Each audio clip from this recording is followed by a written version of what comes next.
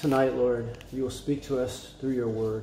I pray, Lord God, that you will grant us ears to hear. And I pray, Lord, these words will go beyond this room tonight and will go, Lord, far beyond this room, but into the heart of your church, your people, and even beyond us, Lord God, to have a penetrating effect, to have an awakening effect, God, to make us alive from the dead, and to make us awake and alert and ready for the battle. That we would truly be shaken, alerted. God, that we will be broken, humbled, but strong in our desire to do your will and your will alone, and full of a, a, godly fear, a righteous fear of God, a holy fear of God. I pray, Lord, only you can do this work in our hearts, but I, Lord, I desire it earnestly that you will do this work in our heart, that you will bring our youth alive from the dead, and you'll bring our church awake from a sleeping state. That hearts that are cold and hard and set in their ways and have been for a long, long time would truly be awakened out of that state of, of comfort, state of acceptance of things as the way they are, and a state of not fighting and a state of not striving. And I pray that everyone together, corporately, would be, by the Spirit, brought into a place of fighting, of striving, of seeking, of desiring, and fear, awakened, alert. Oh Lord God, please bring us out of a slumbering state, bring us out of a sleeping state, bring us, bring us out of a place where we easily fall prey to the enemy.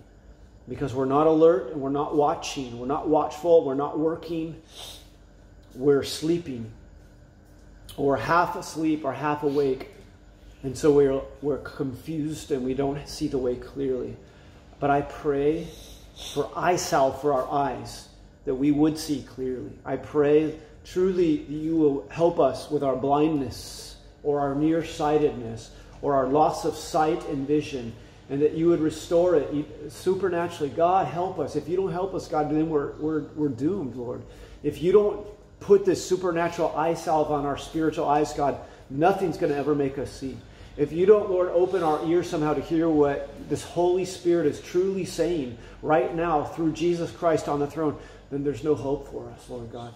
Lord God, if, if, if you don't speak to us individually and awaken us where we are at personally, in our exact situation of life, in the areas where we've been compromised or disobedient or cold or forgetful or hardened or whatever it may be, Lord God, then, then I'm afraid that, that nothing can change our destiny.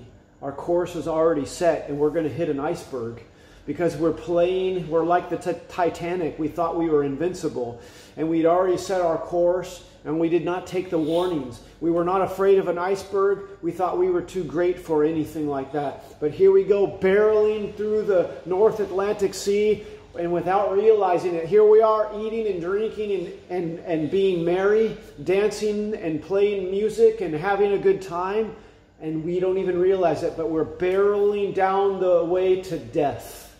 We are moments away from hitting a catastrophe that's so great that we will not even know what we hit, that we will not even know what hit us. And before it, it's too late, we're already sinking into the icy waters of the North Atlantic to our death because we did not heed the warnings. We had no ears to hear.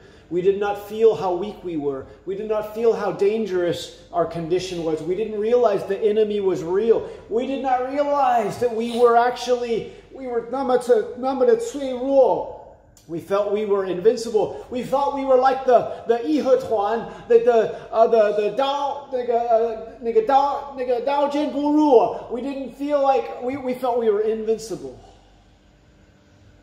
But actually, when we're in that state of coldness and sleep and unalertness and comfort and patterns and bondage, whatever, we are just like the Titanic rushing, rushing, rushing in a one great pursuit of comfort and pleasure and security, not realizing we're rushing towards imminent death.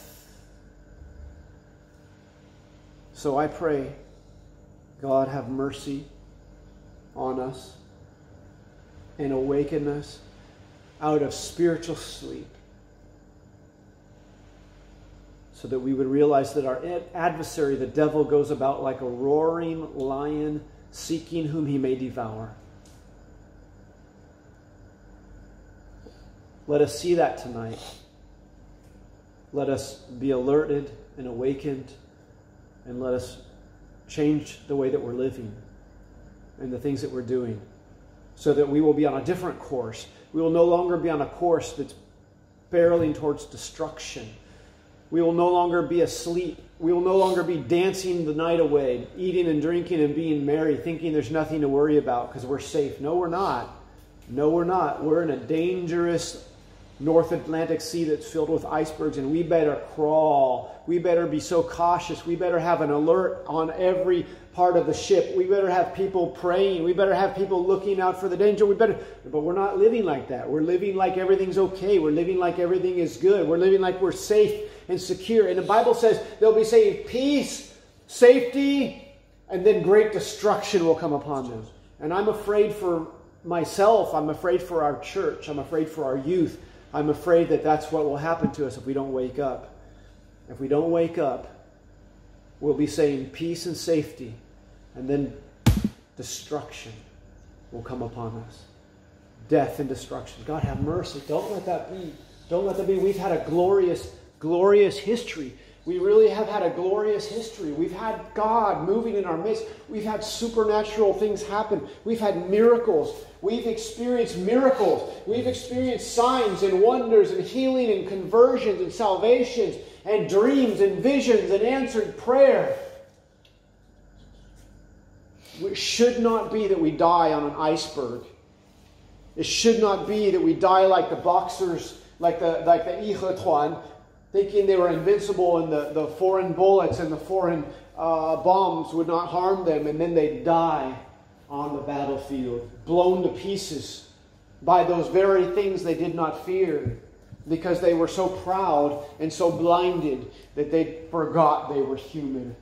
Oh God. Sometimes we also fall into a state of lethargy or um, apathy or coldness or numbness and we're about to drown and die, or, or about to, it's like swimming in really cold water. Just before you die, you lose your sense of feeling. You don't feel cold anymore. In fact, you feel kind of warm. And then the next thing you know, you're dead. You're dead. Oh Lord, let us not lose our feeling. Let us not lose our conscience. Let us not lose the conviction of the Holy Spirit, not the conviction of our pastor or the conviction even of our of the teaching of our church, but the conviction of the very spirit of the living God who gives life and breath to all men. And he alone is the one that brings conviction of sins to all men. And he brings true spiritual light to all men. Please, may the Holy Spirit of God, please not be driven away from our church. God, please I don't want you to be driven away from our church. I don't want you to be rejected from our hearts because we've hardened ourselves or we've gotten cold or because we keep sinning you away and sinning and sinning and we grieve you and quench you because we indulge our flesh, because we put comfort first, because we put security first, because we put laziness first, because we put the world first and we put the Holy Spirit last. Whenever you put the Holy, whenever you put the world first or comfort first.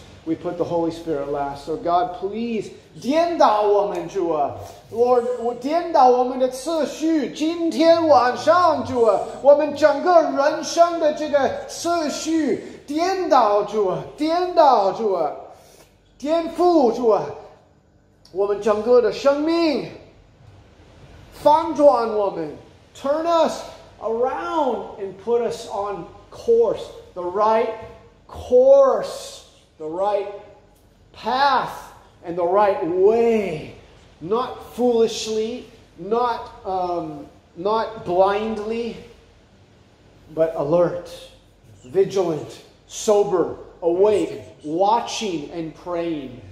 Please, Lord, help us. We need a new awakening. And I pray that you will do that and start in us tonight.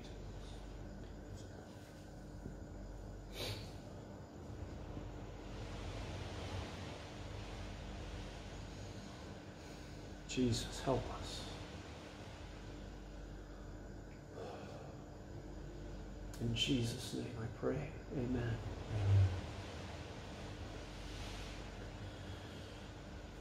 You know, I believe we're making progress tonight, but there's a lot of resistance. I mean, there's a lot of resistance, but I believe that we are fighting. Praise God. We'll keep fighting. But the devil is resisting us. I can feel it. I can feel it. So I don't know if you guys sense that as well. But I also feel somehow like, you know, God is with us and God is wanting to help us. But we got to fight. We cannot give in. We've got to fight. We've got to overcome because it's, I believe that we're in a I mean, there's nothing worse, nothing worse than being asleep in the church. Nothing worse than being asleep. And because when you're asleep outside, you don't know anything, right? So there's hope for you. But when you've been in the light and you've been in the truth and you've been in the church, you've been in the presence of God, and then you fall asleep, even if it's only half asleep, it's just like, it's almost like the end is drawing near because it's very difficult to wake people up when they're asleep in the light. Like, it's it's hard enough to awaken people in the world. I mean, we know it takes a miracle. It's of great proportions, but when we've had the light, we've had the word, we've had the work of God in our heart, we've had the, the vision of God in our souls, we've had this vision to serve God and to live for God and to lay down our life for God, and then somehow we've lost that. I mean, it is, um, it is almost I, I, mean, one thing it does do for sure is it, it literally um, it literally paralyzes the church. So in other words, like the church cannot go forward. It's impossible because God leads people in the light. God leads people who are you know awake, right? And um, I'm gonna turn this because I don't want to look at myself. It's distracting. But um, um, and if we're like asleep and we're not alert, you know, we lost the fire, we lost the zeal, then we're almost helpless. Almost there's no hope for us. I don't know if you guys realize like how serious that is, but um, it's easier to awaken somebody the first time than to have to awaken a Christian who's fallen asleep in the faith, fallen asleep on, in the way. It's, it's, it can be almost impossible because they already know everything, especially somebody who's been in the church for many years. And um, they've heard the word for so many years. I used to say this all the time, and I, I saw it happen before my very eyes, but every time you hear the word, you're making a choice with what you're doing with it. If it's not changing you, like positively, then be assured you are changing, but not positively. You're getting harder. You cannot hear the living word of the living God that cuts to the heart, that divides spirit and soul, you know, that, that, um, uh, uh, that uh, divides like the thoughts and intents of the heart and then not, not be changed by it. You're going to be changed one way or the other. So either you're going to be changed in a positive sense or you're going to go backwards. It's impossible. That's how it works. That's why you'll have people that are in church for many years at first, they're going up, and then they just kind of plateau. And then they seem to be going like this for a long time, and then you feel like all of a sudden they disappear off the, they fall away. No, no. They didn't disappear and fall away like, like suddenly. They were, whenever you're not going up, you're always going down. But you can't see it. It seems because everybody, they know the way to pray, they know the way to worship, they know all the right things to say. So it's like, um, you, we don't see it on the surface, but eventually they will fall off because they're going back in the heart. You're going, we're going, we're backsliding and falling asleep. And um, I mean, one of the things, my prayer about coming here before us is I, I feel like somehow I feel like to some degree our church is asleep. And um, we need a miracle because I don't know what to do to wake us up. I, I don't know. I mean, it's not, it's not in me other than, I mean, God working, God by His Spirit working in waking us up, that I feel we were somehow asleep. They're maybe not fully asleep, but we're asleep enough that we're becoming useless. Like we're becoming to a point where we're not, um, we're not very effective. We can't be used by God. And you know how a knife is, right? Like the knife, when it's sharp, it's very useful. It can cut through things, and it's it's great. Choo, choo, choo, choo. But you know, when the knife is dull, and you try to cut things, it's very dangerous.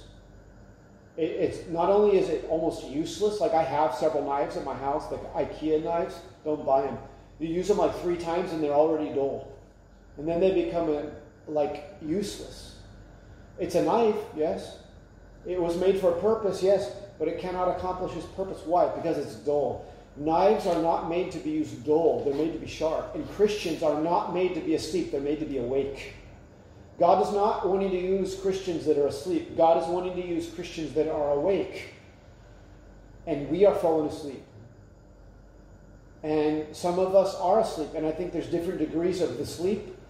And, and so when we lose our edge, like a knife loses its edge, it's, it becomes useless. Not only useless, it becomes dangerous.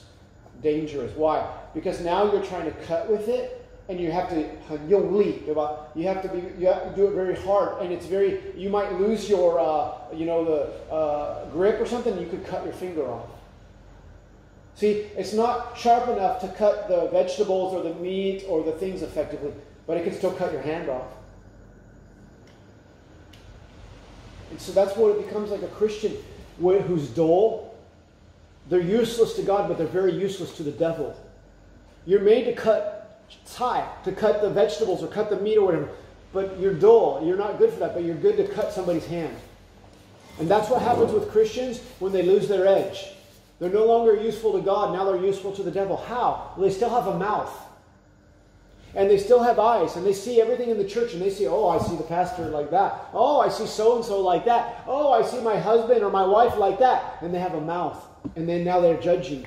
So now you're not only not useful, but now you're destroying the church. Now you're doing damage to the church. What sort of a person does that? Somebody who's asleep. If you feel sleepy, then stand up, okay, Jeffrey? If you start, because I don't want you to fall asleep. Stand in the corner if you feel sleepy, or walk around in the back, but don't fall asleep. That's what we're talking about tonight. And but that's what happens with a Christian who falls asleep. Listen, you already know a lot of the Bible. If you fall asleep, you will be a curse the rest of your life. Everywhere you go, you will be a curse. You know, Israel was a curse. They were so cursed when they backslid, and God sent them, and every nation they went to was cursed by them. Why? Because they were they knew enough about God that they could never go back to the way they were before but they lost their passion and their love for their and their worship of God so that they're useless for God. Now all they are is bad for both. Bad for God and bad for the world, but good for the devil. Nobody wants them. And that's what Christian when they when they lose their fire, when they lose their edge, they become dull.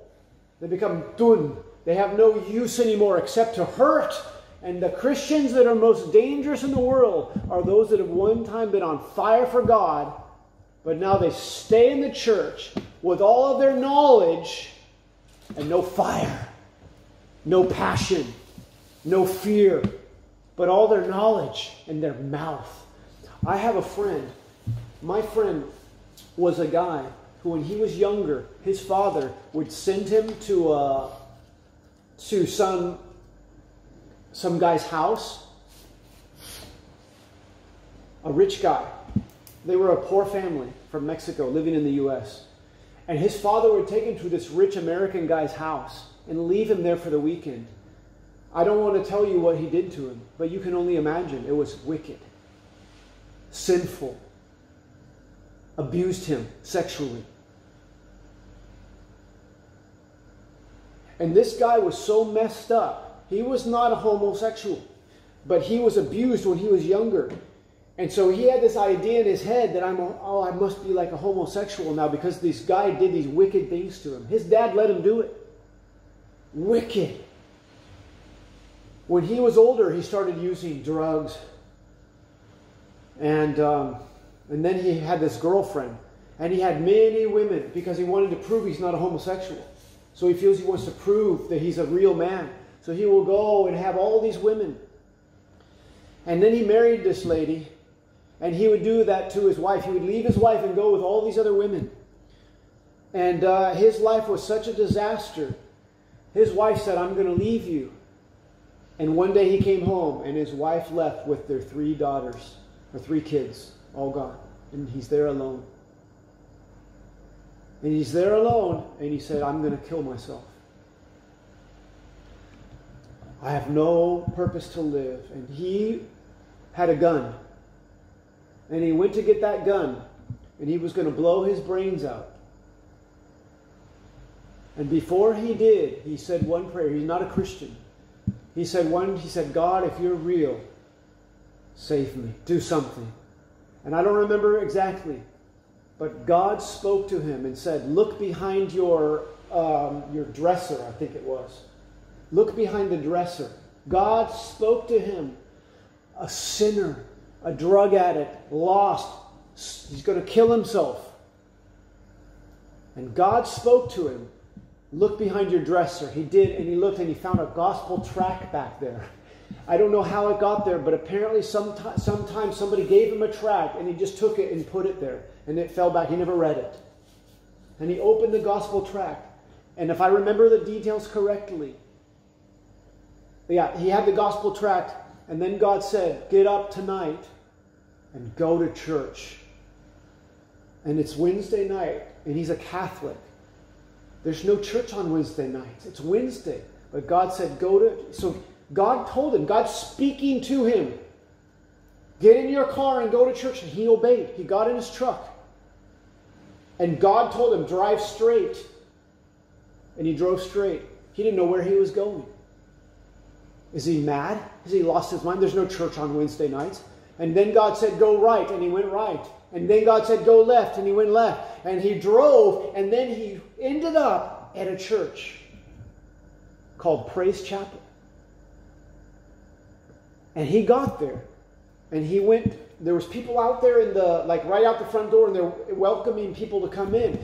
And he said, he got out there and he freaked out. He started crying, I'm going to kill myself. I'm going to kill myself. And they said, just calm down, calm down, calm down. And that night they happened to have a drama. It was a special service. They had a drama. You know what a drama is? Like a play, a skit. And they said, just calm down. And they had him sit down in there. The lights are out, and it's called the judgment. The drama is about the final judgment. And so he's there, and he's watching this judgment. Everybody's died and they're facing God, the judgment. And he sees one person go up there at the judgment. And he said, I was a good person. I did this and that. He said, You're a murderer. God said to him, Jesus, said, you're a murderer. I never killed anybody. You committed suicide. You murdered yourself. And my friend, who was absolutely shocked. He said, This God is directly speaking to me.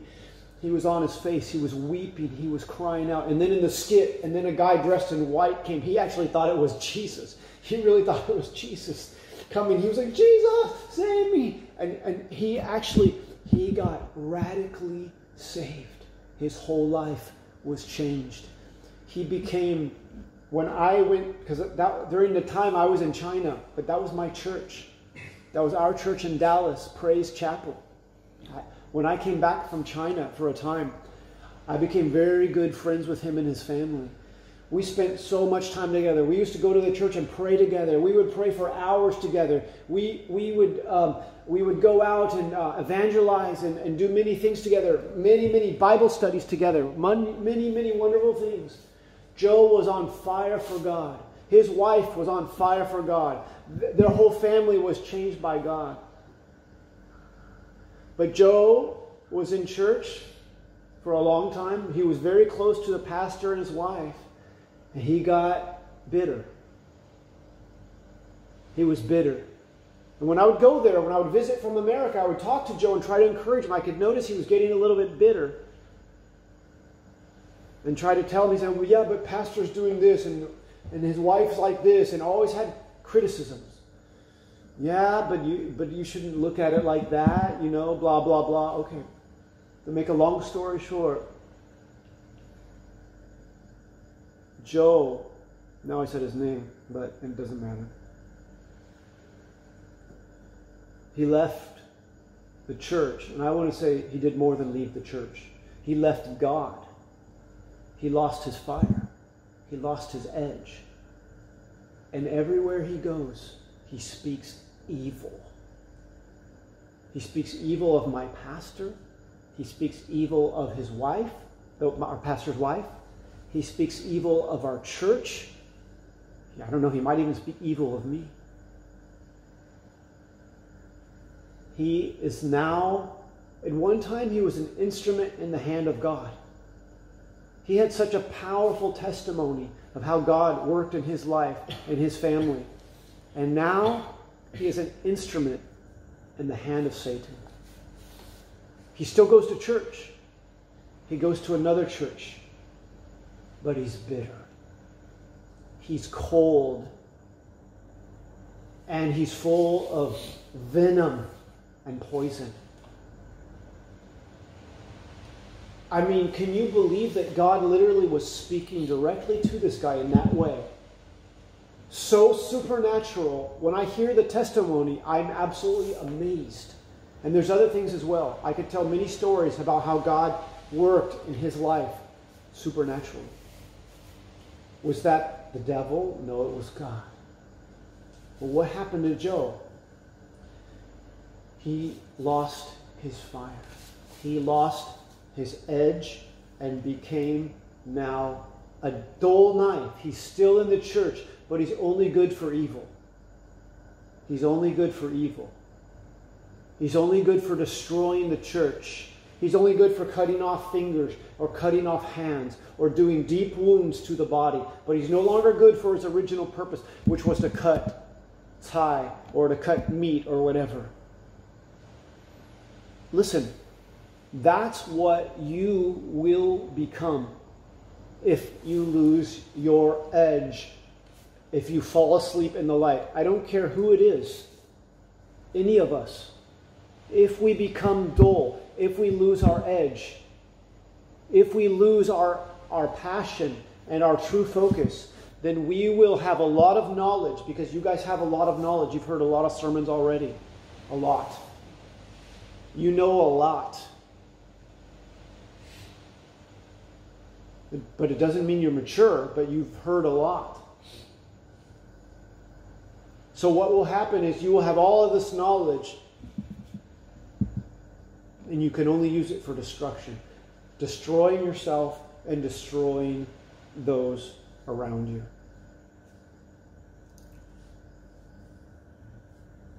So, let's turn to Matthew 24.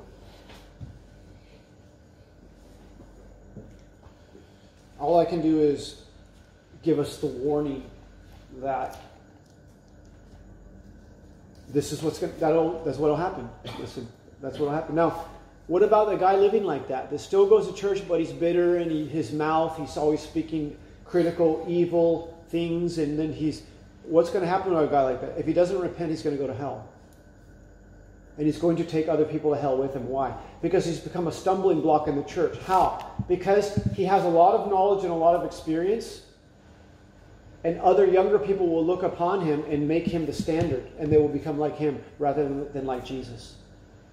So now, remember the verse that says, Woe to you that cause others to stumble? It would be better for you that a millstone were wrapped around your neck and you were tossed into the sea than that you would cause one of these little ones to stumble. That should be a wake up for us. For us older ones, if anybody's online. If we if we cause any of these younger ones to stumble, woe to us. Woe to us. God have mercy. If they look upon our cold example, if they look upon our sleepiness, if they look upon our lack of diligence or fervency or fire or passion, etc., and they make that the standard and they conform to us rather than to Christ. Woe to us. Woe to us. We cannot take those words lightly. Jesus spoke those words to his own disciples. We have to take those seriously.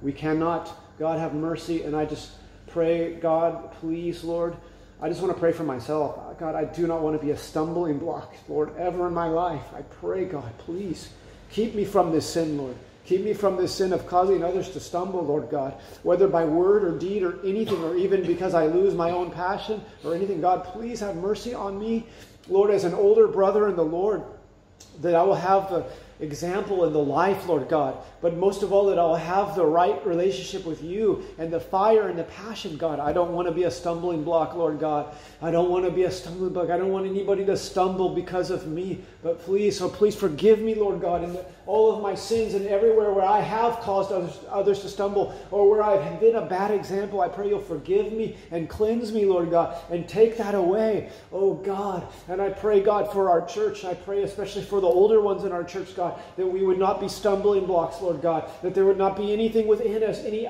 pride, uh, pride or or complacency or any sort of attitude also that would be a stumbling block to the youth, Lord God. Forgive us, Lord God, and take away the stumbling blocks from our midst. Take away the bad examples from our midst and always excusing ourselves. But God, let us not just eh, confess our bad example, but please that we would change our bad examples, Lord God.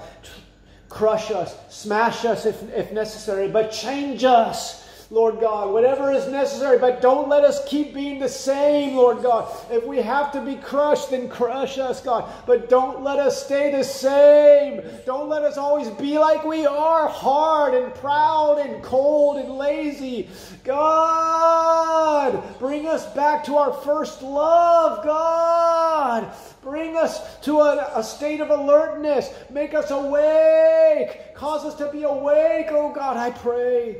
Please, Lord God, bring a love for you and not a love for things, not a love, for comfort or a love for the world. Bring us a love for the Lord Jesus. Bring us a love for the Holy Spirit. Bring us a love for the kingdom of God. Yes. Let us be anxiously awaiting your return. Let us do a pan, pan, panja, juanita dalai, panja nida zalai. Let us, Lord, oh God, long for your return. Long for your return. Long for your return, God. Day and night, Lord. Lord God. Lord, let us be waiting like the diligent servant, waiting, waiting, waiting, waiting for his master's return. God, let us not go to sleep. Let us not beat the servants and eat and drink and beat the other servants. Oh God, that's a, a backslidden Christian. It's a backslidden believer. Oh God, let us not be one. Let us be awake. Let us be alert. Oh God.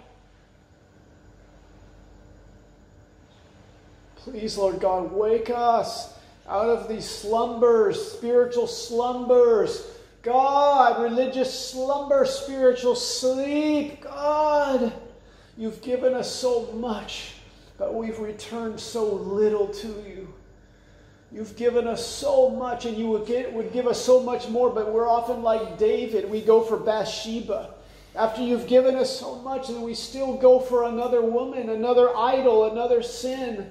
God, when you wanted us to go for you, please help us to conform our lives, Lord God. Lord God, please, Lord, let, I don't want you to pour out so much abundance on us in vain. All the grace, God, all give us fire, give us fire, give us obedience, give us fear, give us reverence, give us passion, give us love, God. God, give us action, action, action. No more words, not just words, but action. Action, action, action. Oh, God. Please conform us into your holy image. Make us, make us into your holy image. Meet with us tonight and mark us. Fire!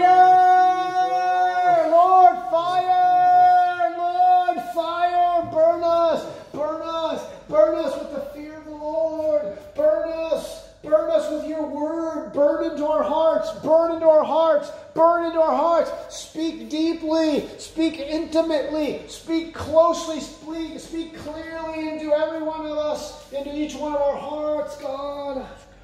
We may know the voice of the Lord. We may know the voice of Almighty God. Please, I pray, Lord God, awaken us. Awaken us. Jesus. Jesus. Jesus. Lest we become dangerous. Lord, lest we become useless, and not only useless, but dangerous, God. Our gossip is dangerous. Our bad attitude is dangerous. Our pride is dangerous. Our judging is dangerous. Our lack of love is dangerous. Our lack of passion is dangerous.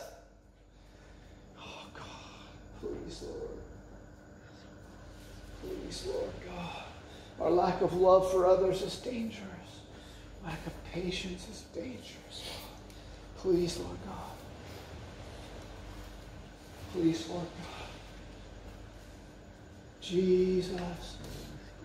Jesus. Please, Holy Spirit of God. Jesus. Jesus. Awaken us. Awaken us. God. Let us not lose our edge. Let us not fall asleep. Let us not become dull.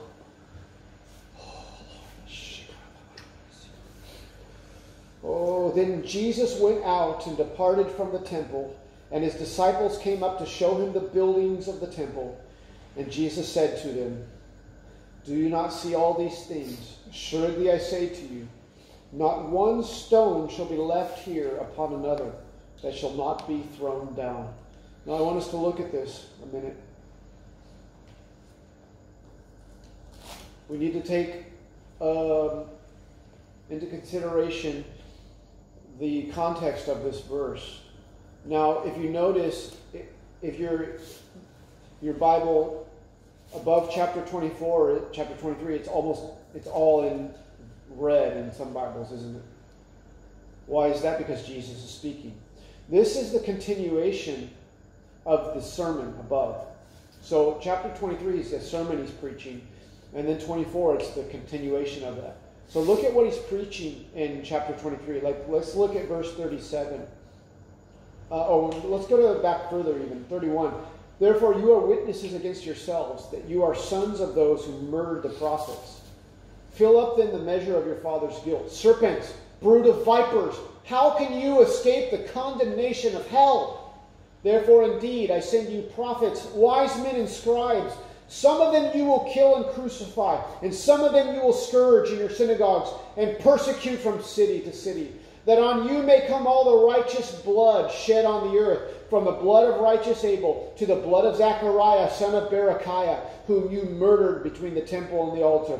Assuredly, I say to you, all these things will come upon this generation.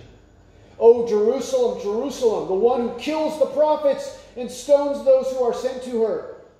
How often I wanted to gather your children together as a hen gathers her chicks under her wings, but you were not willing. See, your house is left to you desolate. For I say to you, you shall see me no more till you say, Blessed is he who comes in the name of the Lord. He just pronounced judgment on Israel. He just pronounced judgment on Jerusalem. He just pronounced judgment on the Jewish nation. He just predicted their downfall. He could just condemn them to hell. Did you notice that? This is very, very heavy stuff. This is not just like your run of the mill everyday chit chat. This is this is like like unimaginable. This is absolutely shocking. This is almost impossible in the mind of a Jew that this is even gonna that this could ever possibly happen. And Jesus just proclaimed a terrible judgment over the Jewish nation and the Jewish people. And then Jesus went out and departed from the temple. And look at what happens. This is amazing. And his disciples came up to show him the buildings of the temple. Listen to what just look at what just happened here. Jesus just dropped the heaviest message on Israel that's ever come in their history. The heaviest teaching his apostles have ever even heard.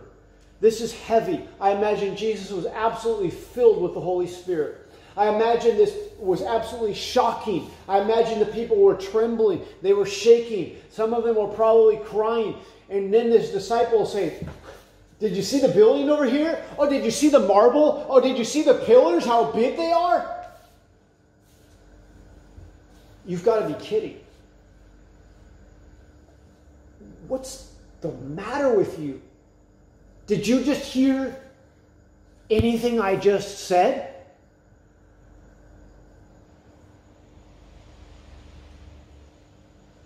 The heaviest message in the word of judgment, the living word of God released. I just predicted, I just prophesied what's going to happen to Israel. And you want to talk to me about these buildings over here? You want to talk to me about the marble? You want to talk to me about the pillars? The, are you out of your minds? Something is wrong with this picture. So Jesus rebukes them, doesn't he?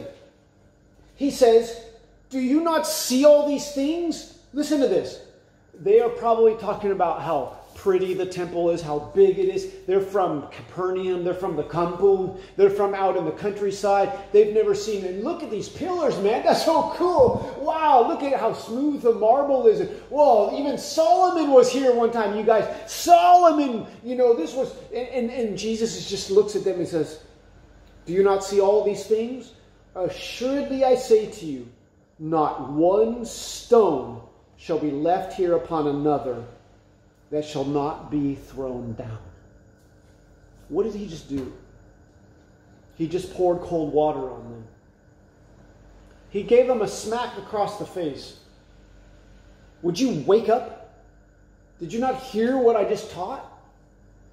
Did you not understand what's happening? And now you're wanting to talk about this building and stuff and how cool it is and how pretty it is? I imagine when they heard him preach, they were also like, whoa, wow, yeah. But why is it? What is it about us that the next moment we're talking all the nonsense of the world? One moment we're hearing the eternal word of the living God, and the next moment we're talking about food, we're talking about doing something, we're talking about going on a holiday, we're talking about school and how much work. What's wrong with us? I don't know, but something is wrong with us. And I see that Jesus had this same problem with his own disciples. It's a human thing. It's very difficult for us to remain in the presence of God. It's very difficult for us to remain in the mode of meditation. I mean, look at last night. We were in the car, we're talking all the these very serious things, and then a few moments, few moments, and then we're just joking and talking and everything. And the rest of the way, we're just playing and, and stuff like that. What's wrong with us? I don't know, but something's wrong with us. So we need to have wake up calls. We need to sound the alarm. We need cold water poured on us because we have the tendency to fall asleep in the light. And I believe that's what the Lord did here. He goes right back. Notice this what he's talking about above, the judgment coming. Your house is left to you desolate.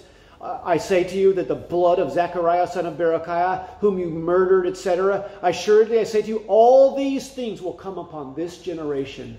In other words, you're doomed.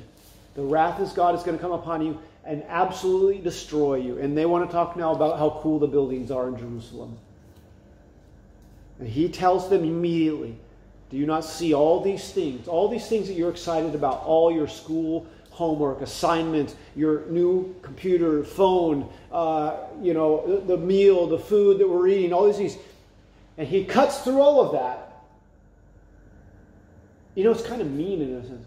It's kind of mean. It's like, I just got this new computer, and now you're telling me it's going to burn in the fire? It's like kind of mean, isn't it? Like, I'm enjoying this new cell phone. I just got this new phone and it's like really cool and I'm enjoying it. And you're telling me, you're telling me one day that's going to be smashed into a thousand pieces. I mean, it's like we just bought this new car and we're, we're really enjoying it. And you tell me it's a trash can on wheels. It's worthless. It's going to burn up in the fervent heat of the Lord's return. It's like, you know, it's like, it's, like, it's kind of like, it's like mean. Yeah, if you're a humanist, it's mean, isn't it? If you're into humanism, it's mean. Renbanjui, it's mean. But it's what Jesus did.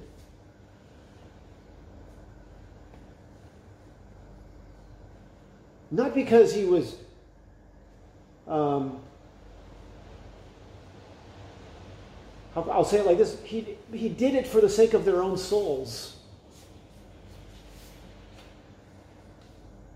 He did it for the sake of their own souls.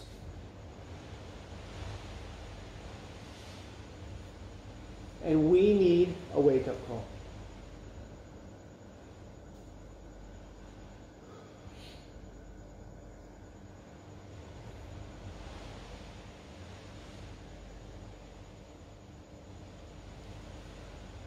We need a wake up call. It's almost like we're firemen, but we're, we, lo- we, we lost our skill, and now there's a fire, and it's like we don't know what to do. Oh, I feel that sometimes, like during our prayer meetings or, or a few times in our service where, where God's power and presence was there so strong in a supernatural way. And it's like, like the fire is here. The firemen, they don't know how to fight a fire anymore. And sometimes it's like, I, I one time I remember afterwards looking at everybody, it was like everybody was honestly, I'm not, you have to understand how this word, what this word means in English, but everybody just looks looking stupid. Stupid doesn't mean like no brains in this context. It means just like stupefied, like, huh? Huh? That's not, I don't think that's good. I don't think that was normal. It's almost like somebody got hit and didn't know what happened. We should be alert. We should know what just happened. We should know that God just came down and spoke. It was the night when I prayed for you guys. You guys, I think it was the three of you. I, you guys came to the front and I prayed for you at the end. That was that night. Do you realize the things that were prayed over you that night? Do you realize who was praying over you that night? It wasn't me. I don't have that in me. I don't have such words in me. I believe those were words from God. Now, if you didn't realize that, bummer for you. That shows you're asleep.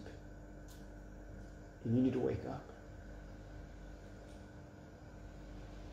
Because if God can come so near and we don't realize it, or we, we don't really know what's going on, we're in trouble. We lost our skill. The fire is coming. We don't know how to fight.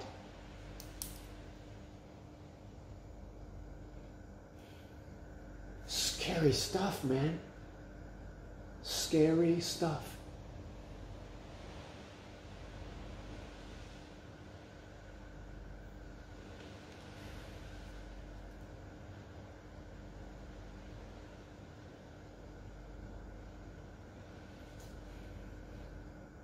I believe we need, God help us, that we will have, He will provide for us, a constant reminder of the emptiness of this life and this world. I want to be Paul, Paula Longshui, about the world, material things, comfort, and all these things, like we talked about last night. I want to be. I don't want to be addicted to those things. I don't want my heart to go after those things. I don't want my thoughts to go after those things. Why? Because I will become absolutely worthless and useless. And not, not only that, eventually dangerous. And so will you. So will you.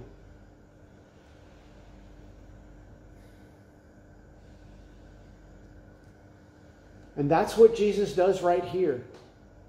He says, He pronounces to them, Do you not see these things? Assuredly I say to you, not one stone shall be left upon another that shall not be thrown down. All this thing that you're glorying in is going to be utterly destroyed. I mean, you could just be brand new married, just got married, and it's like, yeah, and she's going to be dead one day.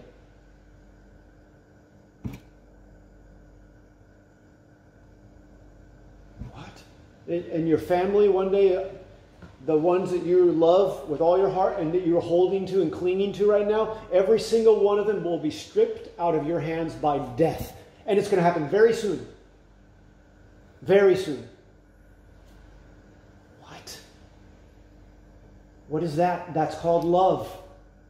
Because it's truth. And it's a wake up call to stop loving the things of the world. Do not allow your heart to be set on the things of the world. Do not allow your affections to be set on an art display or good grades.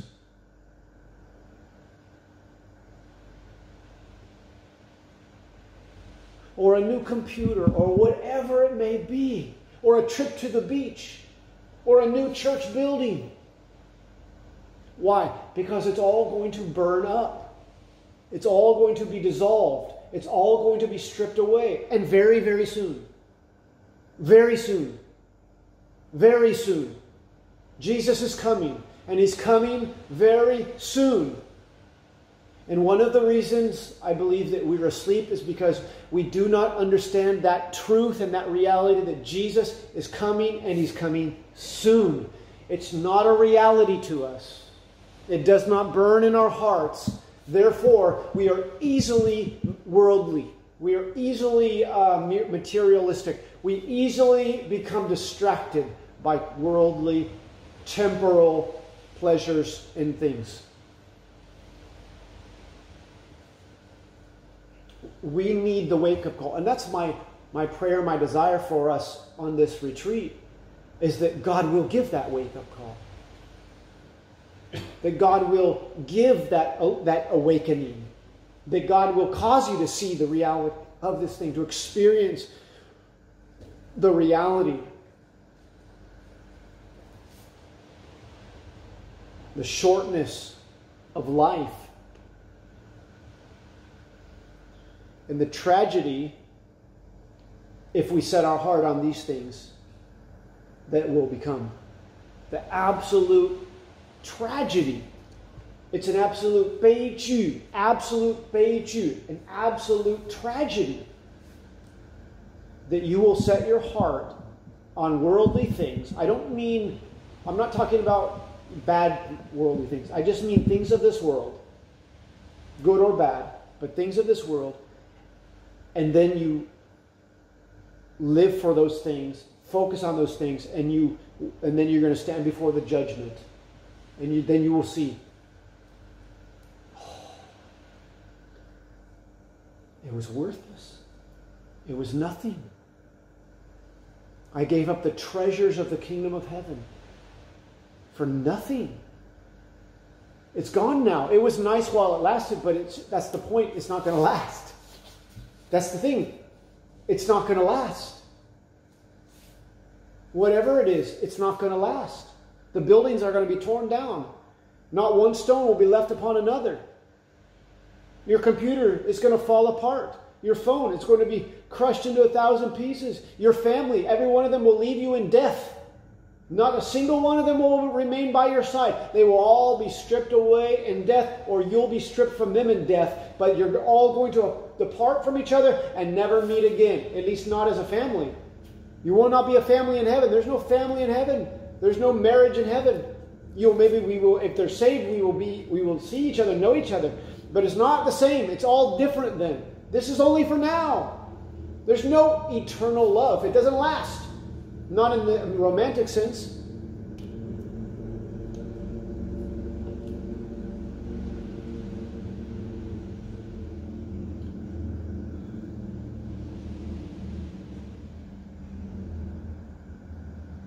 He rebuked his disciples.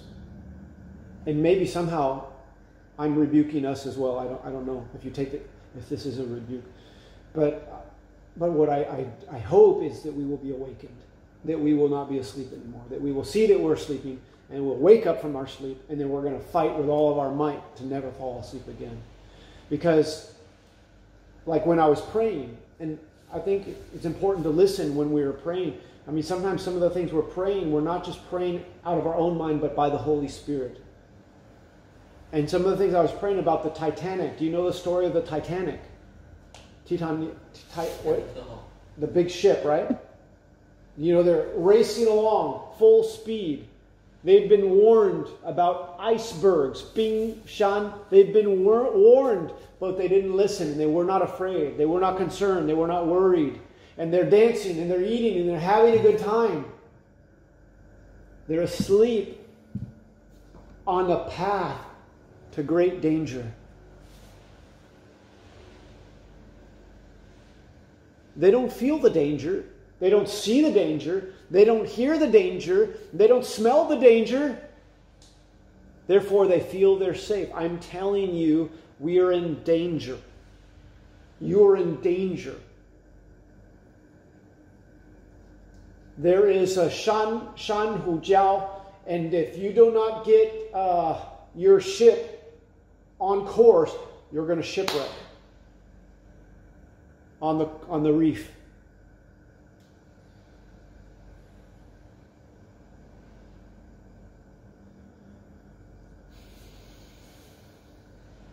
We need to wake up.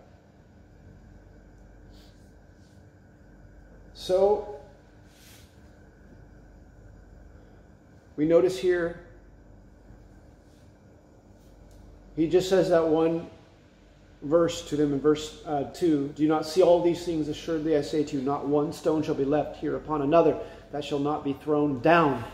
Listen, there's another sense, there's another sense where I do not believe that Jesus felt it was wrong for them to admire the temple and the way it's built.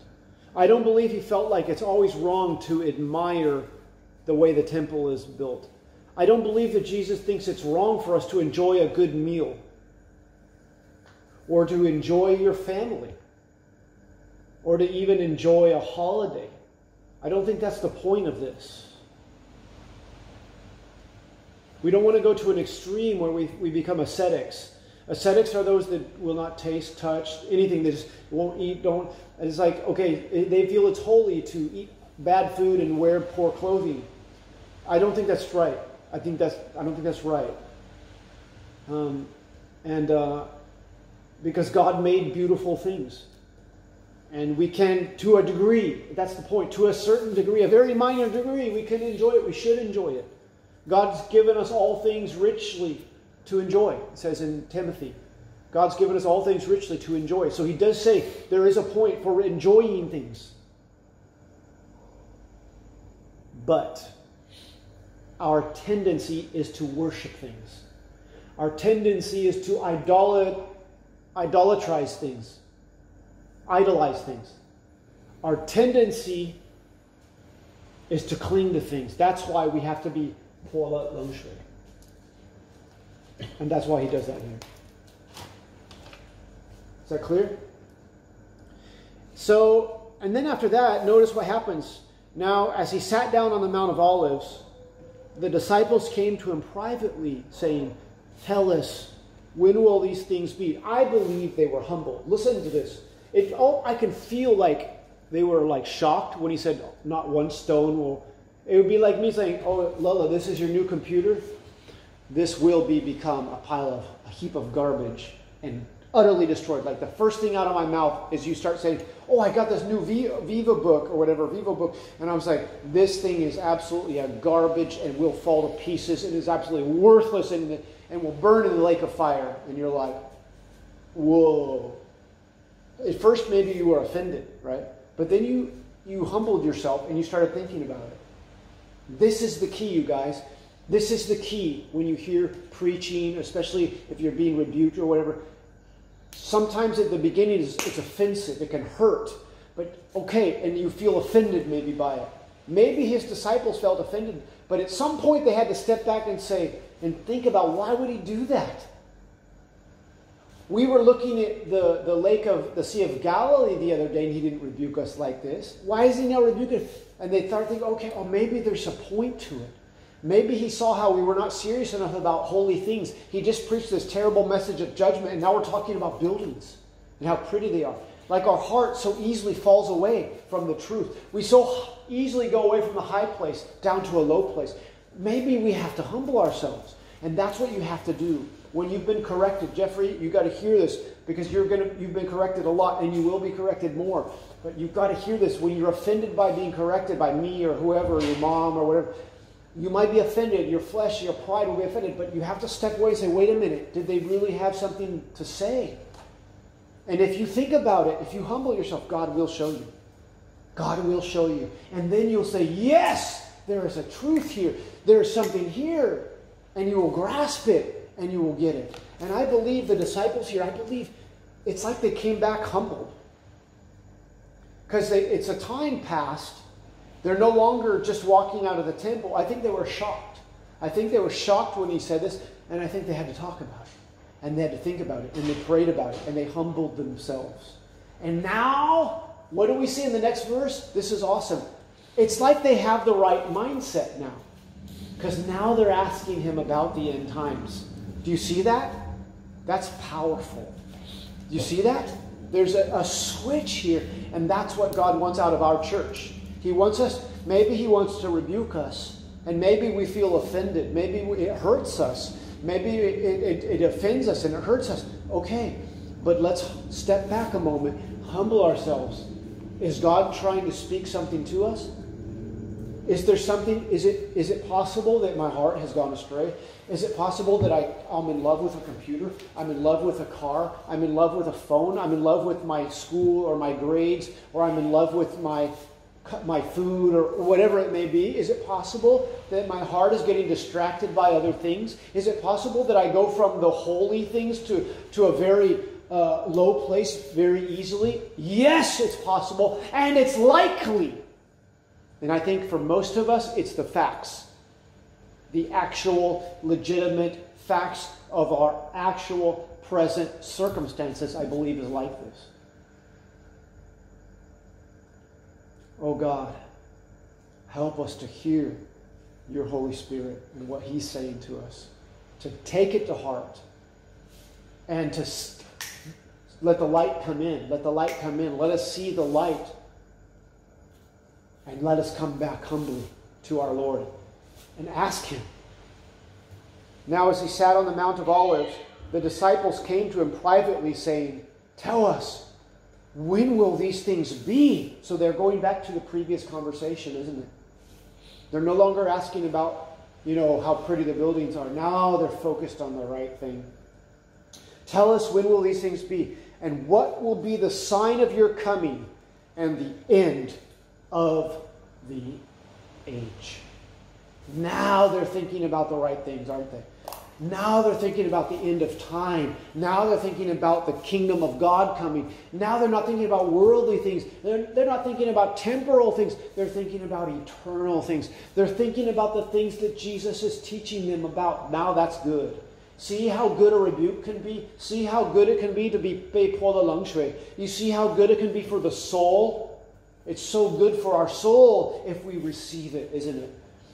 Now we've had the right mindset. Now we're asking the right questions. And now the Lord Jesus gives one of the greatest uh, teachings on the end times in the entire Word of God because they humbled themselves and came and asked Him a question. What revelation will Jesus, will Jesus give to our church, you guys, if we will humble ourselves, if we will receive the rebuke, if we will be wake, woken, wakened, I don't even know the proper grammar, if we will allow ourselves to, to wake up, if we will wake up, and then we will humble ourselves and we'll come to the Lord and say, Lord God, what is it you want to say to me? How is it you want me to live the rest of my life? I'm so focused on how much money I make and what I do for a living, on this and that.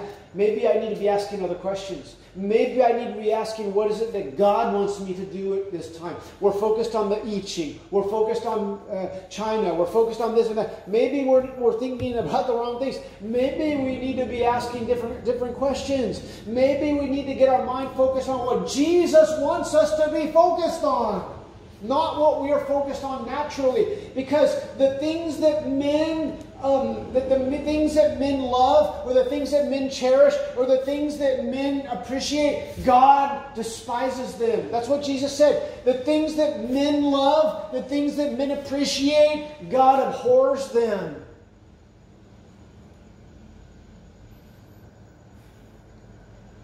Maybe we need to get our mindset more on God's side, huh? Get our mind thinking on what God's thinking about.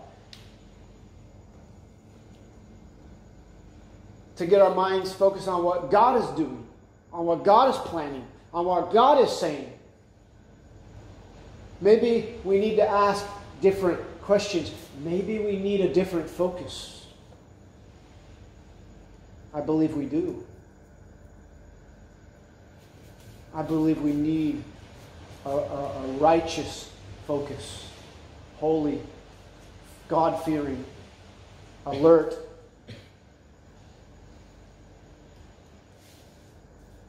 Maybe the most important thing in my life is my spiritual growth, my relationship with God. Maybe the second most important thing is how I, what I do for God, how I use my life for God. We need to ask the right questions to get the right answers. You know, another thing about this is very interesting to me is this. Think about this. If they didn't receive the rebuke, if they did not do some fanshi, if they did not humble themselves, and then they, oh yeah, and then they go and humbly ask him with the right mindset and the right questions. Jesus obviously had all these things that he wanted to tell them, but they couldn't receive it. How often is it that God has many things to give us? Many gifts to give us, many anointings to pour out upon us, many revelations He wants to speak into our hearts, many things He wants to do through us and our families and our relationships. But we were not able to receive it because we are thinking about the wrong things. But the building is also God's temple. That's what they could think. But this is this, this God's temple. No, no, you don't get it. We're not talking about religion here. We're talking about walking with God, the living God, right? Following God. Jesus Christ is God in the flesh. The temple is empty. God is now leaving the temple, so leave with him. But they're like still back in the temple. No, leave that behind. God left the temple. Jesus Christ is God. He is the temple. He's the new temple. Follow him. But they say, but but but but but but but but the temple. Forget the temple. I left the temple. Follow me. And we get stuck in a religious habit, a religious pattern, a religious activity, and we think we served God. No, no, no. God's the living God. He's not dead. He's the living God. We can only serve Him in the Holy Spirit, not in the flesh.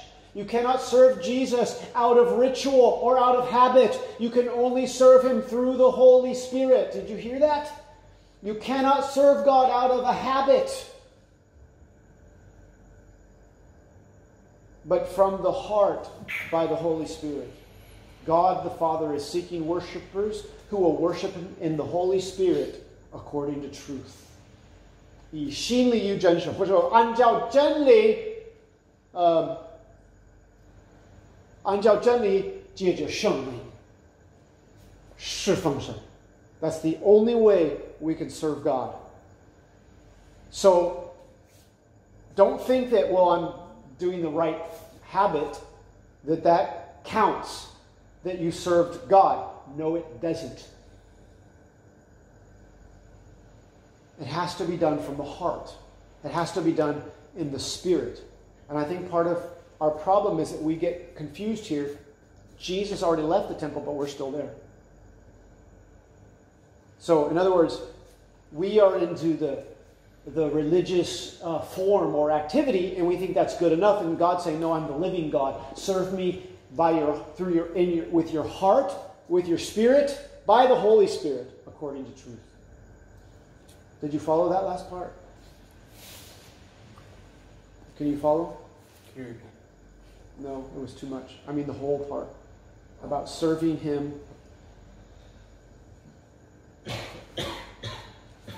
So, the point is, is that the temple is no longer effective. It's the, it was one day ordained by God, but God has left the temple. Jesus is the new temple. But the disciples, their mind is still on the temple. Look at these buildings, look at these stones. And Jesus rebukes them. Do you understand?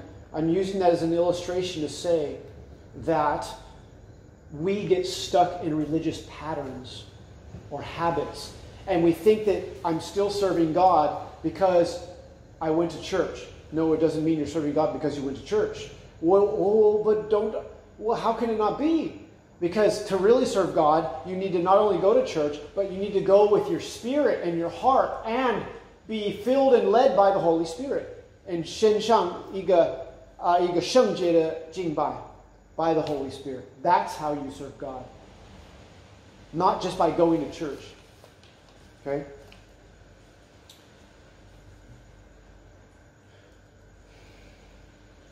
Can you follow? Yes. Oh, yeah? Good. Praise God.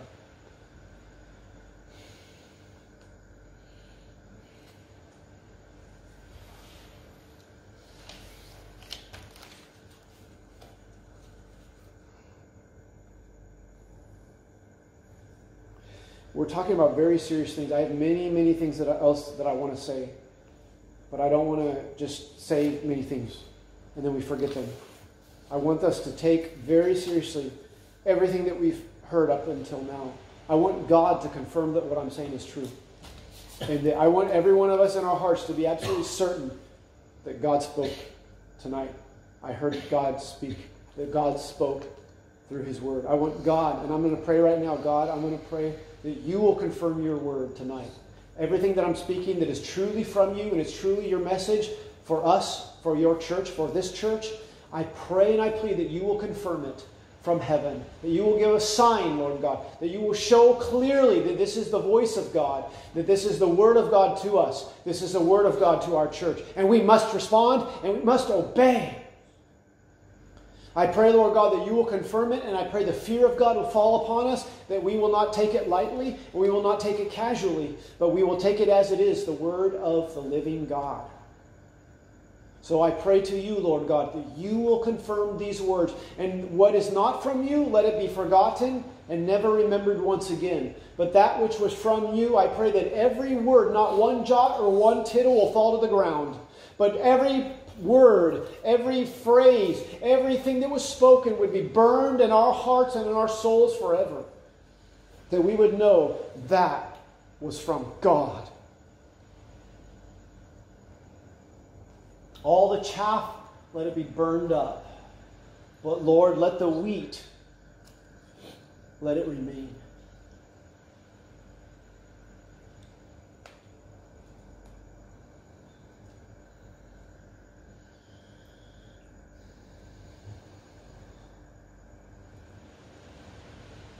Every word, Lord. Everything but from the Holy Spirit.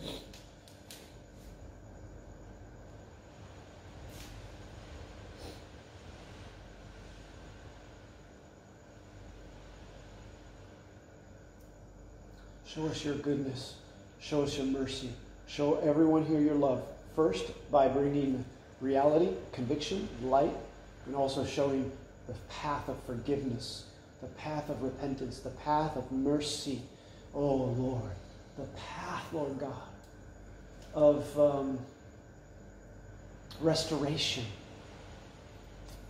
and the path of the outpouring of the Holy Spirit.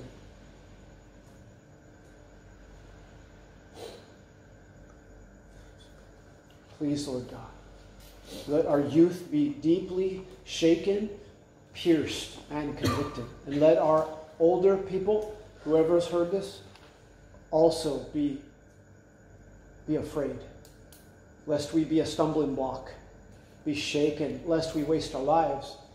God, be awakened, lest we love the things of this world. Because if we love the things of this world, the love of the Father is not in us. Oh God.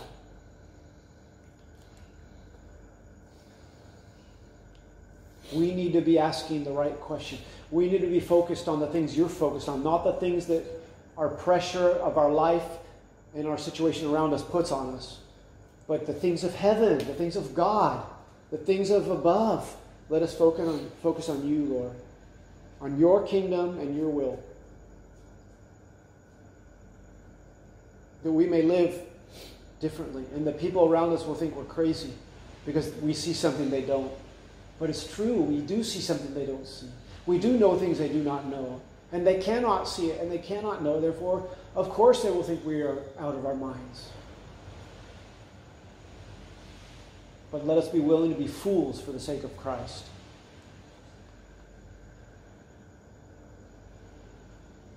Help us, Lord, to not love the things of this world help us once again to be to hear the call of heaven, to hear your call, deep calling into deep, you calling out to our hearts, calling us to come to you, calling us to worship you, calling us to seek after you, calling us, oh God, to spend time with you. Jesus, please, I pray, bless us.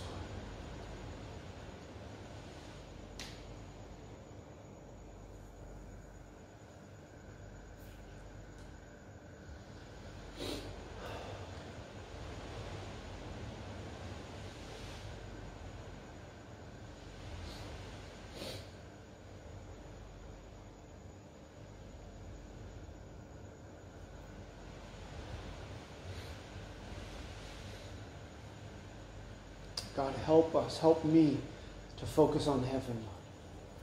Truly, Lord God, help me and all, everyone else. I pray for myself as well, as well, Lord, to focus on heaven, to focus on the judgment, to focus on the on the, the Mor Shampan, to focus on eternal life, to focus on eternal things, to focus on you, God. Please, Lord, help us.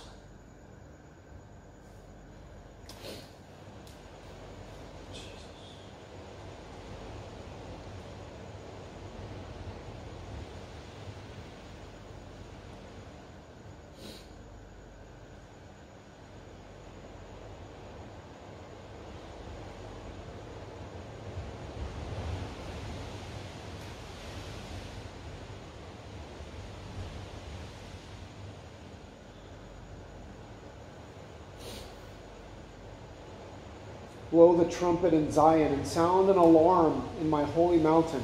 Let all the inhabitants of the land tremble, for the day of the Lord is coming, for it is at hand. A day of darkness and gloominess, a day of clouds and thick darkness, like the morning clouds spread over the mountains. A people come, great and strong, the like of whom has never been, nor will there ever be any such after them, even for many successive generations. Now, therefore, says the Lord, turn to me with all your heart, with fasting, with weeping, and with mourning. So rend your heart and not your garments. Return to the Lord your God, for he is gracious and merciful, slow to anger and great and of great kindness, and he relents from doing harm. Who knows if he will turn and relent and leave a blessing behind them, a grain offering and a drink offering for the Lord your God.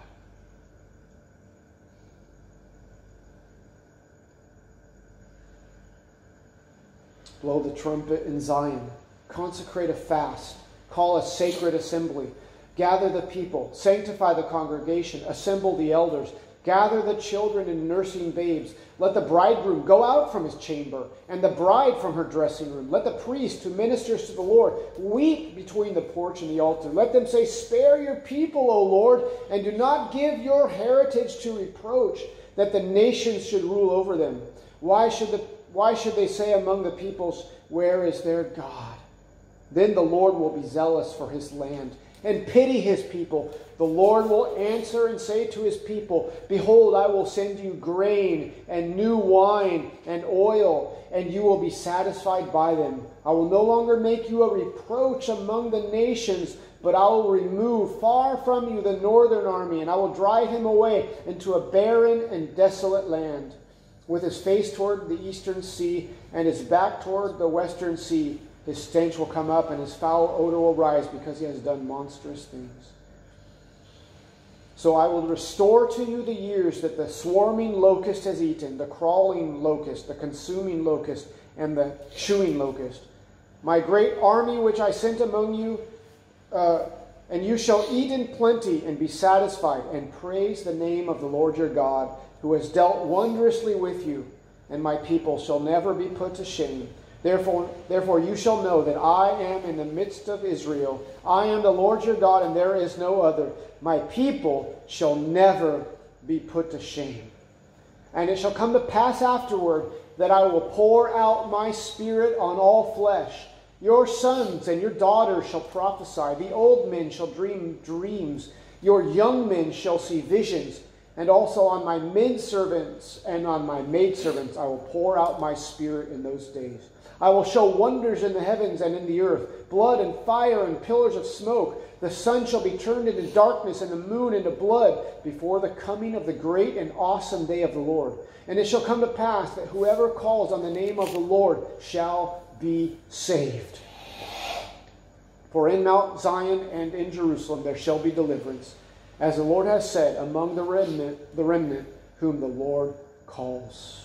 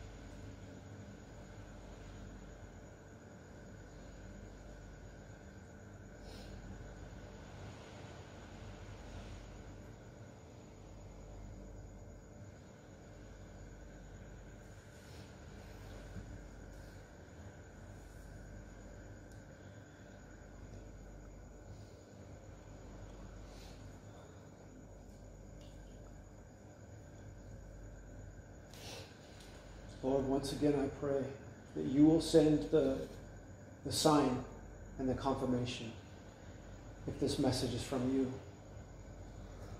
That everyone who's heard it will know in their heart that that was from God, and I must respond to God.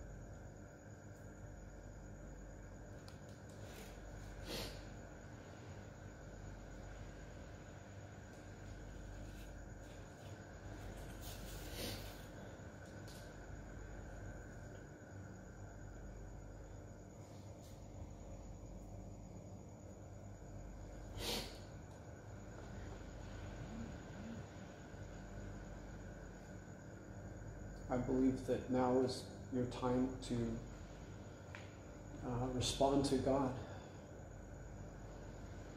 If God has spoken to you or dealt with you, or rebuked you, now is your time to um, call out to God, reach out to God, receive His message. Don't let um, don't let it fall on deaf ears or on a hard heart. Don't let the, the seed of his word fall into the stony ground or on the path so that it gets trampled up. Let it go deep in your heart. That's why it says to Silenina Shinchang, to um, rend your hearts and not your garments, and to put on sackcloth and ashes, and to break up your fallow ground. You got to do something. You need to respond in your heart and your soul and to the Word of God that it will that it will not be choked out by your own wickedness. So you have to, you know, respond the right way to God's message. You have to receive it. It has to fall in good soil. It can be the very word of God, but fall in bad, bad soil and it won't bear any fruit. But it was from God. It was God's word. It was God's message. It was God's truth. But why didn't it bear fruit then? Because it fell in bad soil. Be sure that you are tonight hearing the word with a good soil heart, not bad soil.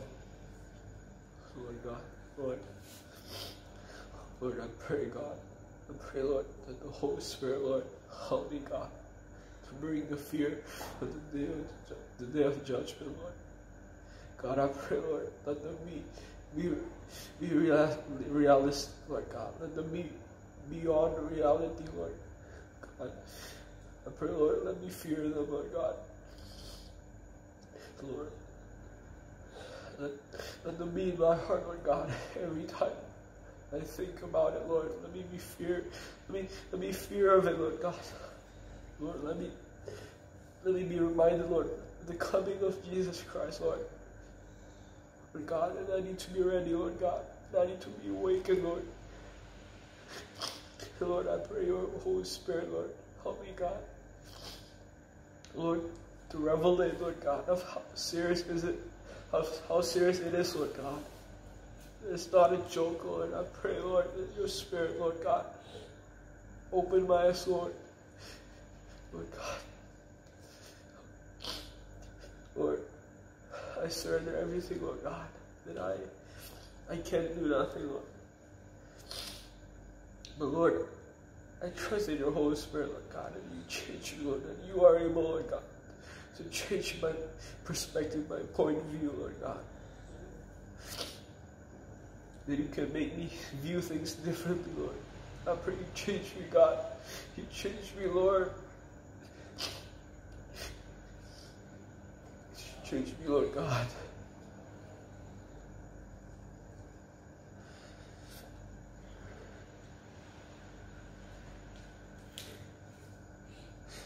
Lord, please, Lord God, do your work, Lord. Lord, for you are all, you are our only hope, Lord God. There is none who can help us, Lord, but only you, Lord. And I pray, Lord God, you open my eyes, Lord. Lord God. Or else I'll be doomed, Lord God. Lord God, please, Lord. Open my eyes, Lord. Let me see, Lord God,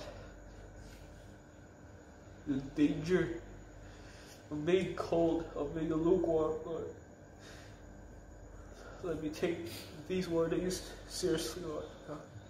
Let me not, let me not go back immediately after hearing those warnings, Lord. But Lord, let us be like the disciples, Lord God, humbling ourselves, Lord. You show us, Lord. I pray, Lord God, give us the heart to fear you more, Lord God. Lord, Holy Spirit, Lord God, I depend on you, Lord. I depend on you, God. You are, you are my only hope, Lord. There's none I can depend on, Lord. But you, Lord God, you are the God of changed Lord God, who changed sinners. Lord, Lord God, that changed the heart of everyone, Lord God. And I pray, Lord, that you change my heart.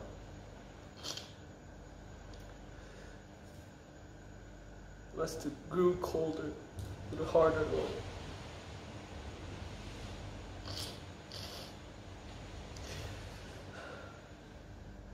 Mercy on you, Lord God. Mercy on us, Lord.